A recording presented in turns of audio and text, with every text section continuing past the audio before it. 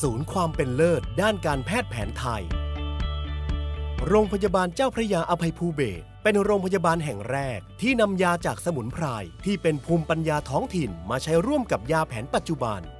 มากกว่า 30 ปีของการศึกษาวิจัย และพัฒนายาจากสมุนไพรทำให้โรงพยาบาลตระหนักว่า การพัฒนาสมุนไพรให้เป็นที่ยอมรับอย่างกว้างขวางจำเป็นต้องมีการพัฒนาบริการทางการแพทย์แผนไทย ควบคู่กันไปด้วย และทำให้เกิดกระบวนการศึกษาวิจัยประสิทธิผล ความปลอดภัย และความคุ้มค่า ในมิติด้านสังคม เศรษฐกิจ และความยั่งยืนทางสุขภาพ ของบริการทางการแพทย์แผนไทย และสมุนไพร เมื่อวันที่ 17 ธันวาคม 2562 ได้รับการมอบหมายจากคณะกรรมการปฏิรูปประเทศ ด้านสาธารณสุข ให้โรงพยาบาลเจ้าพระยาอภัยภูเบศเป็นศูนย์ความเป็นเลิศด้านการแพทย์แผนไทย หรือ Center of Excellence in Thai Traditional Medicine โดยมีวัตถุประสงค์ เพื่อให้เกิดการศึกษาวิจัย สนับสนุนบริการด้านการแพทย์แผนไทยและยาจากสมุนไพร ถ่ายทอดผลการวิจัยไปยังสถานพยาบาลอื่น ๆ รวมถึงผลักดันให้บรรจุยาจากสมุนไพรและการรักษาเข้าสู่ชุดสิทธิประโยชน์ เพื่อให้ผู้ป่วยเข้าถึงยา และการรักษาได้มากยิ่งขึ้น ที่นี่มีการให้บริการอย่างครบมิติ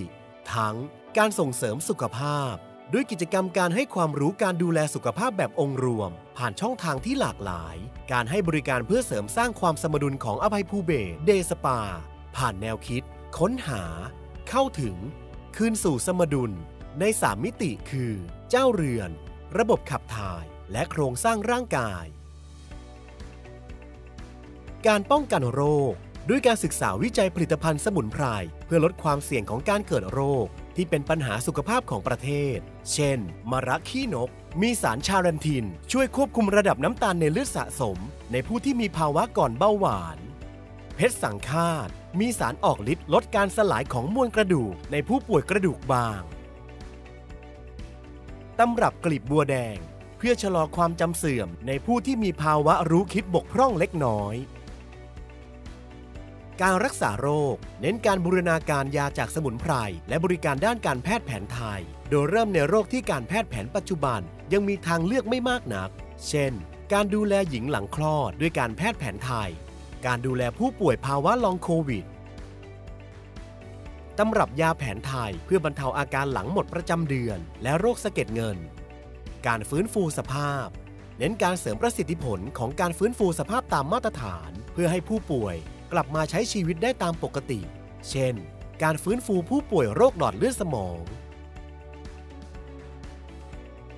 ศูนย์ความเป็นเลิศด้านการแพทย์แผนไทยอภัยภูเบศร ยังเป็นพื้นที่ต้นแบบสำหรับการศึกษาดูงาน ด้านการแพทย์แผนไทยและสมุนไพร มีการพัฒนาไปพร้อมกับการฟื้นฟู และอนุรักษ์ภูมิปัญญา เพื่อเป็นแหล่งเรียนรู้ ด้านการแพทย์แผนไทยและสมุนไพรอย่างครบวงจรสำหรับหน่วยงานและสถาบันการศึกษาทั้งในประเทศและต่างประเทศกว่า 20,000 คนต่อปี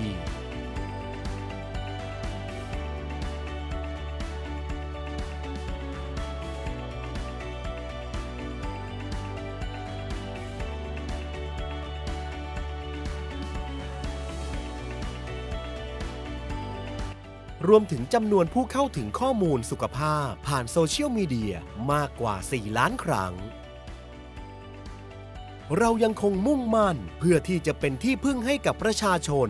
สังคม และประเทศ ผ่านการเผยแพร่ และส่งต่อองค์ความรู้ด้านสุขภาพ ที่ทันต่อสถานการณ์ มีความปลอดภัย เชื่อถือได้ เพื่อการพึ่งตนเองด้านสุขภาพได้อย่างแท้จริง